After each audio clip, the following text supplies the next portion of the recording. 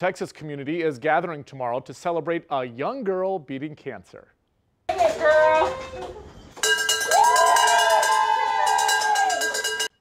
14-year-old Libby Kimball of Copperas Cove was diagnosed with Ewing sarcoma last year and has been fighting it ever since. Tomorrow, the Pink Warrior Angels and Iron Horse Disciples Motorcycles Ministry will do a drive-by celebrating her finishing chemo. It's a milestone nine months in the making. She had completed all of her chemo um, treatments from McLane's Children's Hospital. And so we wanted to do a little celebration and just have a drive-by celebration for that milestone of her completing chemo. Over 200 motorcycles, a Jeep club, and tons of members of the commu community should all be out cheering. Libby is excited and has a message for other kids still fighting cancer too.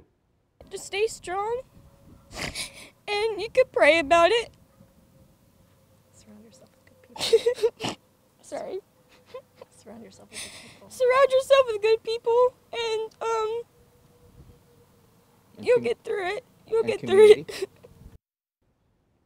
If you would like to join in and celebrate with Libby, everyone will be gathering near House Creek Elementary School in Copperas Cove at 11 a.m.